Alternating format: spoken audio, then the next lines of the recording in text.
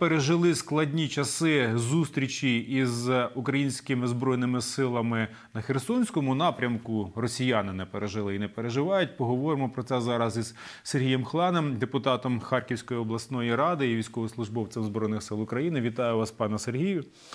Отже, Вітаю. на лівому... Херсонської. Доброго дня. Перепрошую, Херсонської, вибачте. Е, пане Сергію, на лівому березі збройні сили накрили чергову базу тікток військ кадирівських. Як же вирахували цих е, воїнів свята? Ну так вони ж тіктокери. Вони ж розумієте, вони коли відходили з Херсона, то весь Херсон бачив, як вони там е, під музику театралізовано виїжджали на новеньких на новеньких тиграх парадом поїхали. Да, частину їх зустріли на переправі хаймерсами, а частина все ж таки переправилась на лівий берег Дніпра і відповідно розмістилась там в будівлі. І одразу почали вони ж тіктокери, одразу почали знімати, виставляти себе в соціальних мережах. Ну наші, як то кажуть, розвідники і відслідили, що то за соціальні мережі, ой, що то за локації, де вони виставляють свої відео, і саме по цих локаціях нанесли удар. Тобто кадирівці зі своєю такою, е, знаєте, зухвалою тіктокерською здали саме себе, де знаходяться. Ну а відповідно, вже е, діло хаймерсів їх там знищити. Одразу 40 кадирівців. Було відправлено на концерт Кабзона, і 60 кадирівців повідомляють у вигляді трьохсотих окупанти там десь розміщають по лікарнях. Рамзан Рамзан Ахматович, е, будь ласка, знімайте Тікток. Давайте поради своїм воїнам. Чим більше буде Тіктока в мережах, тим краще вам. Ну і тим е, краще нам. Вам слава, ну і вічно, як то кажуть, спокій. Плавучі баржі під Антонівським мостом, ті, які використовували росіяни для цієї переправи. Принципі, після цих останніх ударів, яка там ситуація? Чи попливли вони знову, чи там уже нема чому плавати? Ні, ну вони їх постійно вони їх постійно ремонтують. Вони там кидають всі тоді свої інженерні сили, налагоджують, використовують паромні переправи.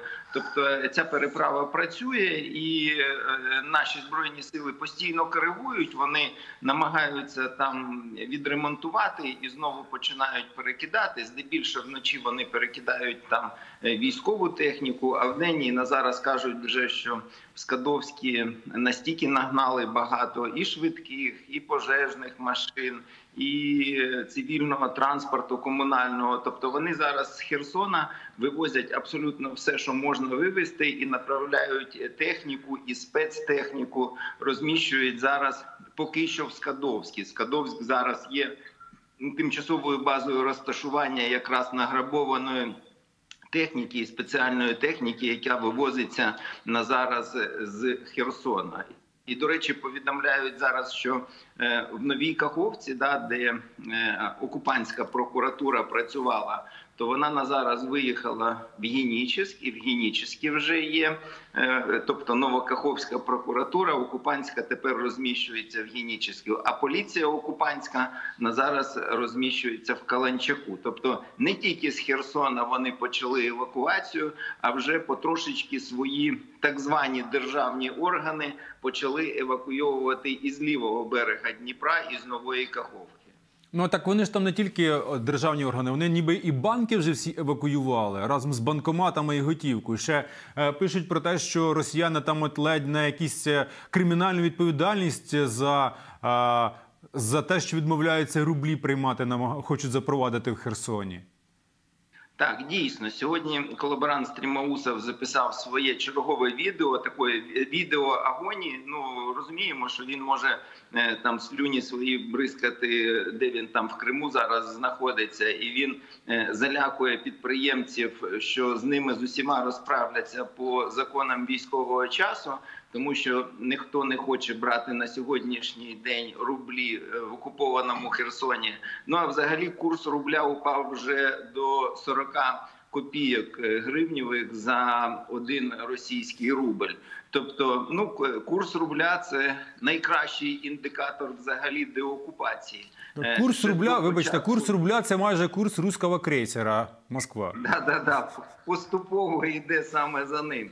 І на сьогоднішній день в Херсоні вже взагалі рубль не ходить, тому що російські мережі вони дійсно вже е, спакували своє обладнання торгівельне разом з залишками продукції. Вже фактично все вивезли на лівий берег.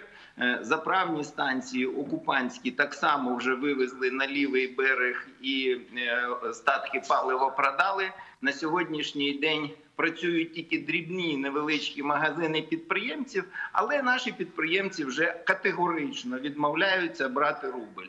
І оті залякування Стрімаусова, що, начебто, він обов'язково повернеться і обов'язково розбереться, нікого вже взагалі не цікавить, тому що всі розуміють, що незабаром відбудеться вже деокупація саме Херсона і правобережної частини Херсонщини. Ну а Стрімаусов уже можливо ніколи і не повернеться з Криму, але все одно я думаю, згодом ми його достанемо і там. Ну добре, якщо е, окупанти вивезли фактично всі великі торгові мережі, е, якщо фактично банкомати не працюють, тому що їх познімали і покрали разом із е, всім обладнанням банків. Де тоді береться в місті готівка і де тоді беруться продукти харчування? Херсон все ж таки залишається великим містом, попри все. Чи не призведеться, Херсон- чи не призведеться до якоїсь певної там кризи і грошей, і продуктів? Е, Люди все ж таки дослухались якраз порад, і на зараз, в принципі, Херсон виглядає такий, знаєте, місце, наче як призрак. Людей немає, люди переховуються по домівкам. А продуктів не стало, тому що люди зробили запаси. Зро- Заробили запаси, тому числі якраз і продовольство, про що ми закликали і попереджали людей. Е, Хоча я хочу відмітити, що невеличкі магазинчики вони все ж таки працюють, і Херсонщина, як з моменту окупації, коли окупанти е, навмисно знаєте, навмисно створювали гуманітарну кризу саме в окупованому Херсоні, і була вже така ситуація, коли не було в тому числі продуктів, то Херсонщина вміє забезпечувати сама себе. Ну а найголовніше те, що все ж таки люди зробили запаси і чекають на збройні сили України, чекають на визволення. А що відбувається зараз навколо Каховської ГЕС? Ну після того, як росіяни лякали її підривом, потім переключилися на брудну бомбу, але тим не менше скидання води із е, Каховського водосховища продовжується чи ні? Так, окупанти зробили аварійне скидання води з Каховського водосховища. Е, Свідки кажуть про те, що на зараз е, е, в місті Каховка рівень води впав десь, відійшов від берегів на півтора-два метри. Е, Трошечки збільшився рівень води е, в низовій Дніпра відповідно, але критичного поки нічого не буде, немає. І взагалі технологічно це робити в цю пору року не потрібно. Тобто, це чергове нагнітання ситуації окупанта навколо греблі Каховської ГЕС. Ну і до речі, як вони там е, почали істерити, коли наші збройні сили наносили чергові удари якраз по розташуванню ворога на електромеханічному заводі в нової Каховки. Ну і відповідно три ракети все ж таки вразили е, шлюз греблі Каховської ГЕС, там де окупанти облаштували переправу. Тому е, окупанти там затіяли такий галас, що ось бачите, ми попереджали. Та ну завжди е, завжди коригували, скажімо так, переправи окупантів. Тому той галас, який зараз піднімається, то не більше ніж істерія якраз рашистів. Тобто, фактично, самі греблі зараз поки що від цих ударів нічого не загрожує, і шлюзи продовжують Так. працювати. А, пане Сергію, перервався у нас зв'язок.